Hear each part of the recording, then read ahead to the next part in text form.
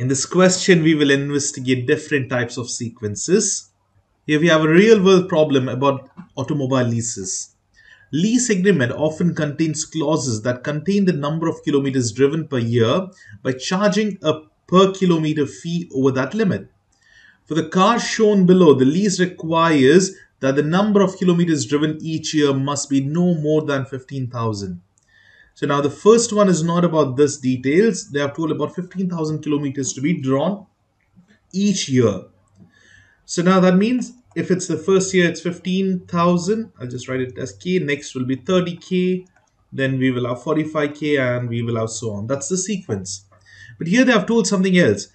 First part, write the sequence describing the maximum number of allowed kilometers on the car at the end of 12 years, uh, 12 months, sorry, of the lease if the car has 1350 kilometers at the beginning of the lease. So yes, we have to add, keep on adding 15,000, but they have already told it has 1350. Basically just add 1.35k everywhere over here, then you'll get it. But let's do exactly how to do it. Say year one, that is A1, first year. So we know it already has 1350 kilometers, right? You need to add how much is the limit in the first year? 15,000 so that will be the answer. It will be 16,350 same thing here second one. Now here we have done second one will be a1 plus 15,000 see this is recurring. So it will be a1 plus 15,000 that is basically how much? A second term will be a1 that is 16,350 plus 15,000. So here we have 31,350. Basically, it's 30,000 plus 1350. Same thing. What about the third term? Because we have to write it for three years, right? Maximum number allowed. Okay, we, we'll just write three years and we can put dot, dot, dot, or we can go ahead. So 40, uh, it'll be 31,350 plus 15,000 again. It's 15,000 that'll be see it's 45,000 plus 150 so it's 46,350 that is the maximum kilometers in three years. So here we go and these are the three terms.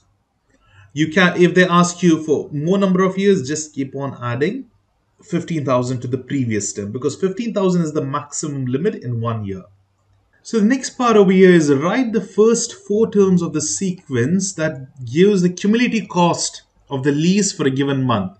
See your first four terms in the sense first four months we need to write. What is the down payment? 1699 is down payment. So the first term will be no matter what you have to pay the down payment and then what is every month you need to pay? That is 399. So imagine you go and buy a house so the bank will help you to buy a house, but you need to pay a down payment. That's like a lump sum of money. So say 50% of it you have to pay. Then every month you can pay the remaining. So this is down payment no matter what. It has to be done before itself. This is the recurring cost. Every month you need to pay 399. So here that's that would be the answer. Now next term would be whatever is the first term you add 399. Whatever is the first term add 399. That would be it. So here you can just use the calculator and you can find all the four terms. We can do 1699 plus 399. That is 2098. If you have to find many other terms, what you can do is in this calculator, just press uh, answer.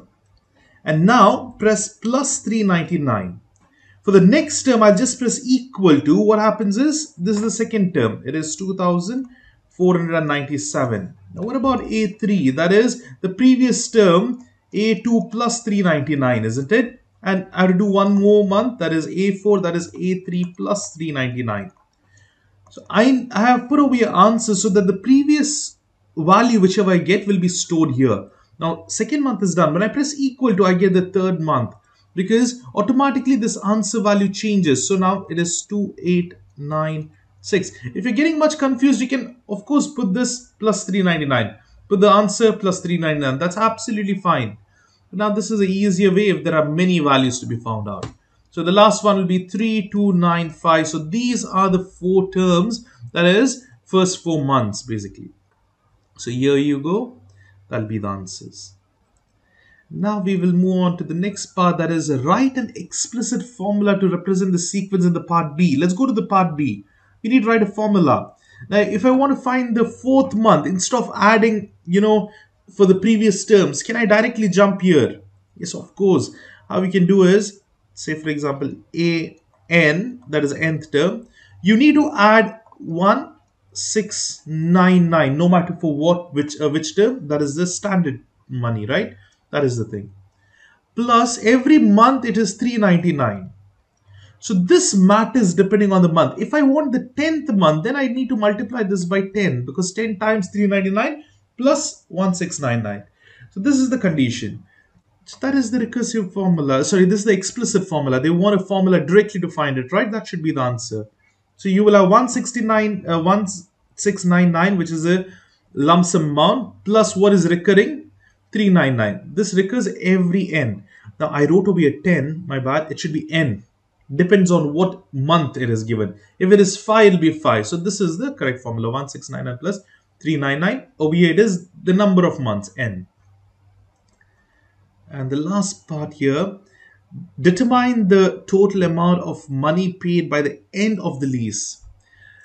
How much will be paid at the end? See, it is maximum up to 36 months, isn't it? So I'll use the same one over here. All you need to do is multiply it by 36. This is it. You put it in the calculator, you get it. So now the initial down payment plus every month recurring, maximum you can go is 36 months. And if you put in the calculator, that is the total amount. So let's type this out 1699 plus 399 times it's not one month or two months it's 36 months type in properly should be 16,063 so that's the final answer. Let's look into the next problem here. Fourth term we need to find the specified term that's the fourth term we need to find if the first term is given as phi and look at this it's a recursive formula that means you can't jump to the fourth term without knowing the previous terms. It's not explicit. Explicit means if you want fourth term, you directly put n as 4, you'll get it. But there's no n here.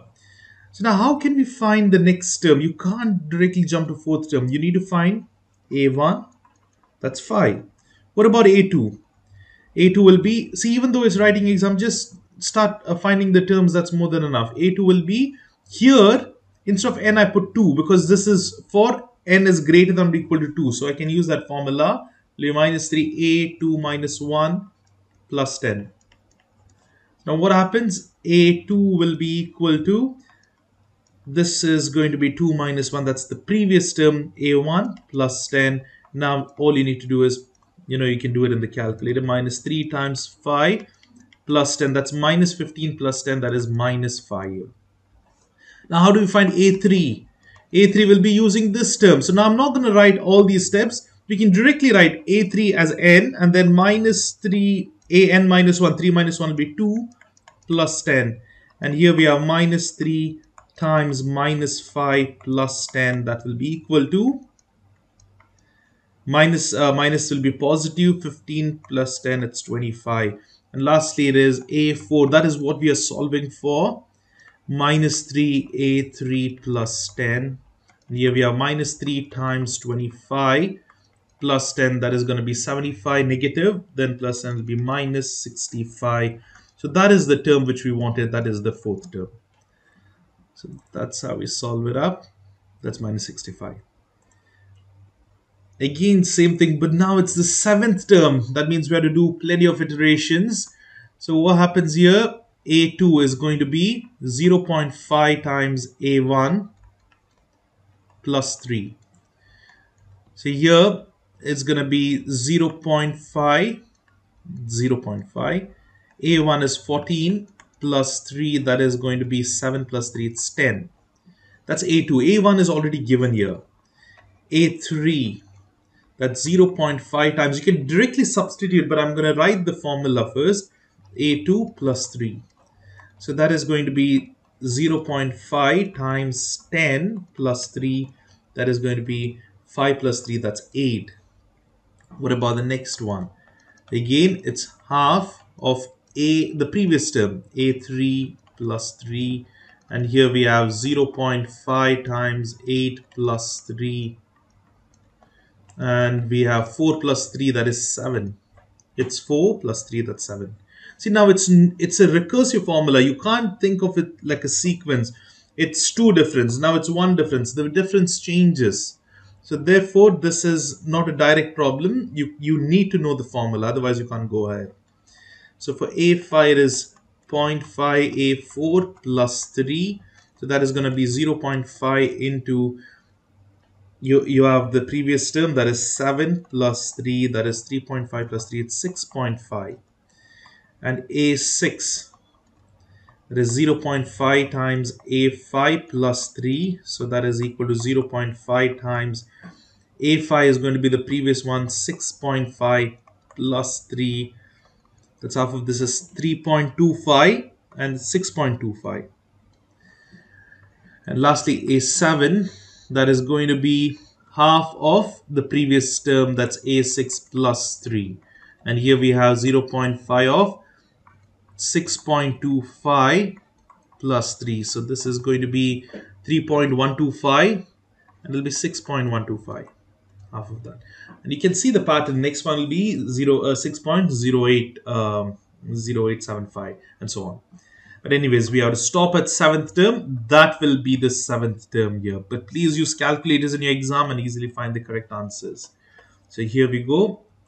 These are answers 14, 10, 8, 7, 6.5, 6.25 and lastly 6.125. That's what we got. Now we have to find the fourth term. Now same thing again, it's a recursive formula itself. It's a recursive formula in the sense you can directly jump to fourth term. You need to find all the previous terms. So a1 is 0, a2 is going to be 3 times 3 to the power a1. That's it. Now here a2 is equal to 3 times 0, that's 1. Now what about the next one? a3 is going to be 3 times a power 2 and a3 is 3 times 1 that is 3 fourth power uh, I mean fourth term. 3 times a to the power 3 a3 a3 was option uh, power uh, it's number 3 so we put it in over here that's going to be 3 times 3 9 27 is the answer. So that is the final answer. Here we go. Very simple problems. And here then it's a huge formula right? Again it's a recursive itself why because see this is n minus 1 n minus 1 it's just that this the previous term is used twice. Let's solve it up. A2 will be equal to over here a1 square minus 5 times a1 then okay, okay again that is plus 4 it's a big one.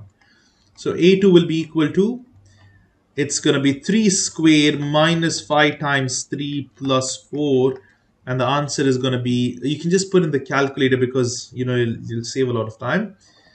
And a3 what is going to be? It's going to be a2 square minus 5 times a2 plus 4 and over here whatever the previous answer in the calculator we need to just put it over there. So this is 3 square that's 9 minus 15 that's 5 times 3 plus 4 and it's minus 2 and here it'll be minus 2 the whole squared. Minus 5 times 2 plus 4 so it'll be 4 8 and again it'll be minus 2 okay this is C it's gonna be 18 please remember the signs properly. If I miss this minus sign then the answer would have been completely different.